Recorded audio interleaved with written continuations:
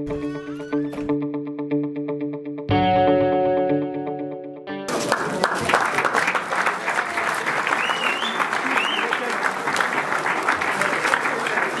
كاين كاملين كاملين؟ إلا قدروا نتصوروا كاملين ما كاينش مشكل. كاملين كاملين ما عندناش مشكل. السلام عليكم. آه، معكم رشيد المعافي المنسق الاقليمي لحزب التجمع الوطني الأحرار بمدينة إقليم زقريت بلول كان لقاء تواصلي مع مناضلي الحزب.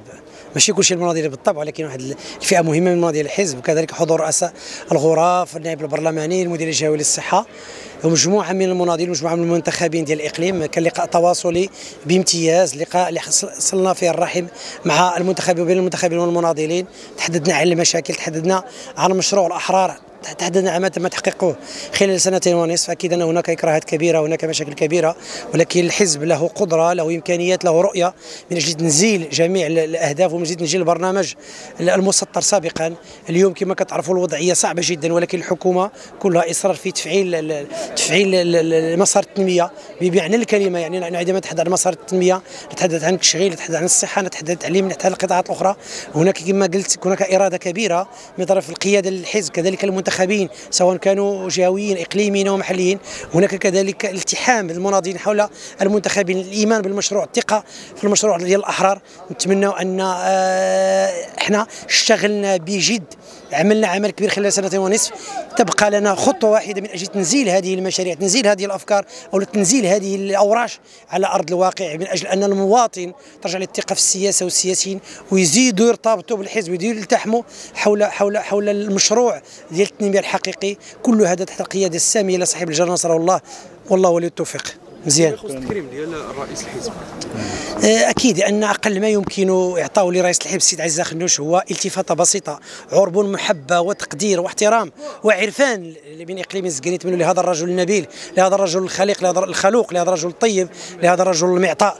إحنا كنتمنوا له طول العمر وحنا نسانده في السراء والضراء نسانده في البرنامج ديالو. حنا معاه إلى آخر نفس من أجل تنزيل جميع الوعود التي كانت مسطرة في الحملة الانتخابية. نحن في مسار التنميه اليوم والمسار ليس بالسهل ولكن نحن كلنا ثقة في الأفكار ديالنا كلنا ثقة في الكفاءات اللي عند الحزب من أجل تنزيل هذه الاوراش على أرض الواقع. عصام لاميني آه، مسير ديال الندوة التفاعلية تحت عنوان آه، التزامات الأحرار ماذا تحقق؟ لشهادات الحضور ديال مجموعة من الفاعلين اللي هما سياسيين وكيحظوا بمسؤوليات جهوية.